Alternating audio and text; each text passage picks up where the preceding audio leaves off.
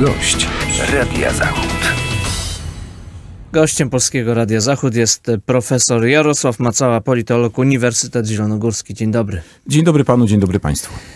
Zaprosiliśmy pana i myślę, że będzie to taka możliwość trochę podsumowania ostatniego roku, bo e, zbliża nam się rocznica e, wybuchu wojny na Ukrainie, tej pełnoskalowej oczywiście.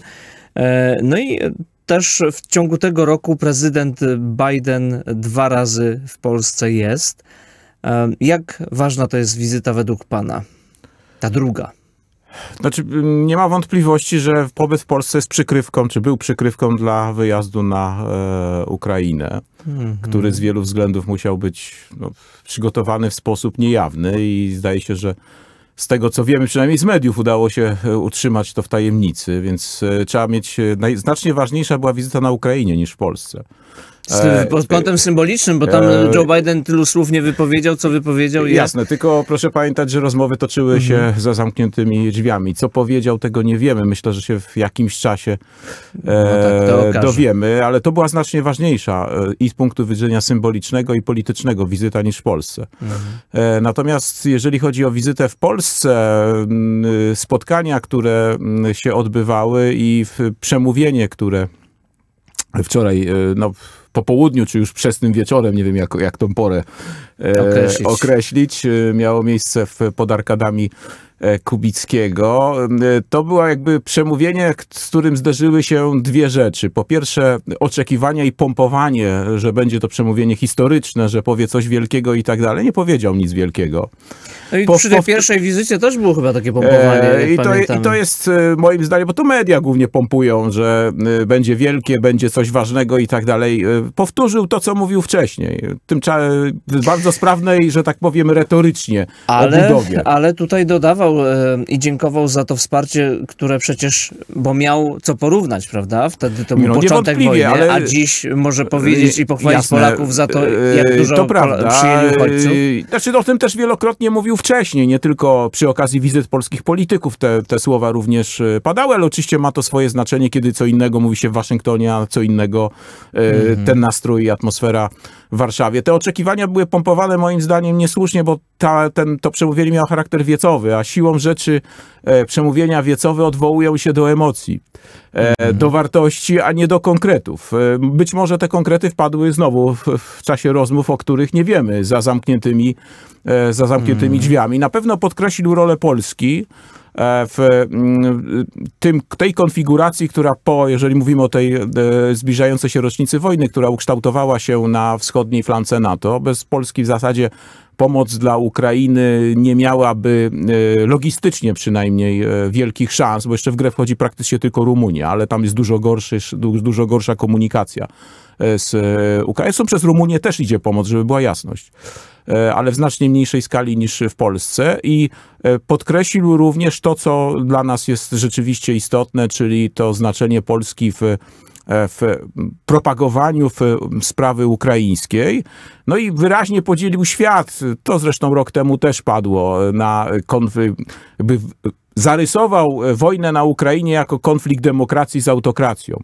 Mhm. Bo w grę wchodzi nie tylko Rosja, ale także Chiny. E, ten konflikt zresztą dla Ameryki znacznie ważniejszy niż konflikt z Rosją.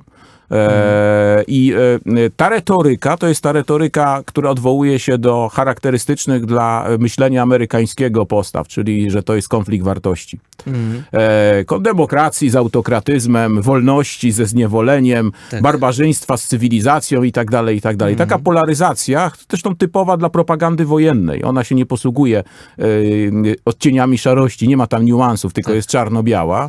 Jest istotny, bo pozwala zarysować przyjaciół e, i e, wrogów. Bardzo charakterystyczne jeszcze było w tym przemówieniu, że nikogo nie krytykował. E, to znaczy nie krytykował e, tych, którzy z różnych powodów e, Ukrainie pomagać mniej chcą, mają dużo więcej skrupułów, wątpliwości, bo to było przemówienie mobilizujące. Siłą rzeczy w, w retoryce mobilizującej nie stosuje się krytyki. No i też mobilizował tym, mówiąc, że Ukraina nigdy nie będzie zwycięstwem Rosji. To powtórzył dwa razy, nigdy nie będzie zwycięstwem e, Jasne, Rosji. I tu, ale tu dochodzimy do tego, czego nie powiedział. No e, I tego politycy amerykańscy w ogóle nie mówią od roku, mianowicie co będzie zwycięstwem Ukrainy. Mhm. A to jest, e, dlaczego to jest istotne, bo to otwiera pole do negocjacji. Tak jest. Eee, Musimy trzeba sobie e, wyobrazić, co by było e, zwycięstwem Ukrainy, co znaczy zwycięstwem no, Rosji z- i szukać tutaj E, jakiegoś... Jasne, zwycięstwo, co jest zwycięstwem, mówi się o zwycięstwie y, Ukrainy. Ukraina, przecież wszyscy o tym wiemy, uważa, że jej zwycięstwem będzie powrót do granic z 91 roku, czyli wtedy, kiedy powstawało po rozpadzie ZSRR państwo ukraińskie.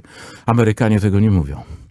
E, Amerykanie mówią o zwycięstwie Ukrainy i e, w wielu, jak się czyta w- wypowiedzi analityków amerykańskich, dla Amerykanów istotne będzie utrzymanie niepodległości Ukrainy. Natomiast jej kształt terytorialny już wbrew pozorom nie jest tak, nie jest przesądzony. To głównie kwestia Krymu.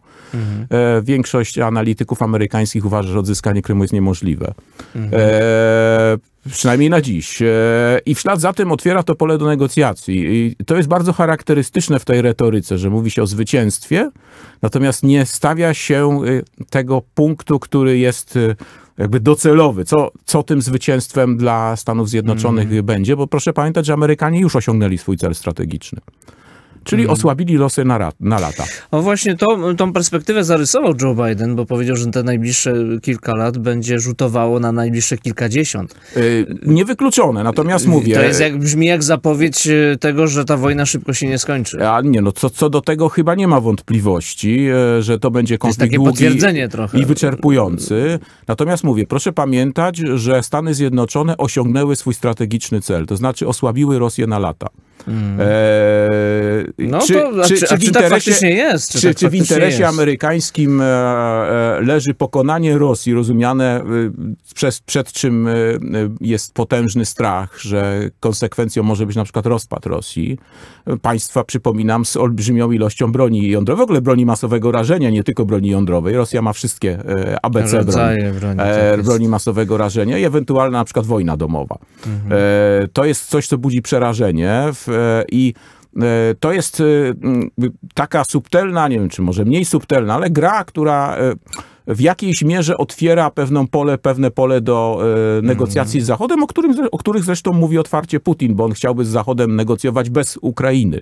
E, czyli mocarstwo z mocarstwem dogaduje się ponad głowami zainteresowanych. Myśmy, Polska to już ćwiczyła w 1945 roku, wie na czym to polega. Nieraz chyba to ćwiczyliśmy E, w naszym więc- dziejach. Więc y, Ukraina też się przed tym broni rękami i nogami. Natomiast Mhm. y, to jest ta, e, moim zdaniem, to jest istotne, jest nie tylko co powiedział, ale czego nie powiedział. Mhm. E, I e, to było przemówienie zresztą bardzo sprawne retorycznie. Polscy No i politycy... też mogli- adresowane chyba trochę na swój grunt. y, E, Nie no, to, to prawda. Polscy politycy mogliby się uczyć e, konstrukcji retorycznej. Polityka amerykańska jest dużo bardziej sprawna retorycznie. U nas, u nas politycy potrafią e, banały opowiadać ze śmiertelną powagą, także na antenie tego radia. E, nieadekwatną zupełnie do, do tego, o czym mówią. Joe Biden też wspomniał o sile NATO i, i tutaj wspominał, że Rosja chciała sfinlandyzować y, NATO, co się Mhm. odwrotnością stało, bo NATO, y, Finlandia wstępuje do NATO, więc... y, To prawda. Y, Znaczy, te cele, które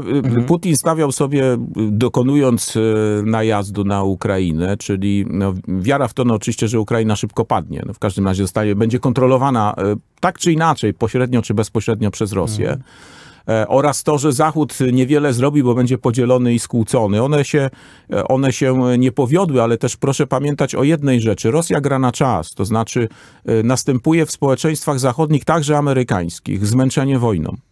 E, I to widać przy badaniach opinii, e, przy badaniach opinii Z publicznej. historii wiemy, że Rosja umie prowadzić długotrwałe wojny i nawet jak na początku jej nie idzie, to ostatecznie E, dopina To swoich prawda celów. i tu jest, to jest ten czynnik, na który być może Moskwa liczy, to znaczy na zmęczenie społeczeństw, a to zmęczenie no, siłą rzeczy w państwach demokratycznych musi się przełożyć na postawę polityków, którzy są zależni od kartki wyborczej. Mhm. E, I w społeczeństwie amerykańskim to widać i w społeczeństwach zachodnich również, to zmęczenie wojną.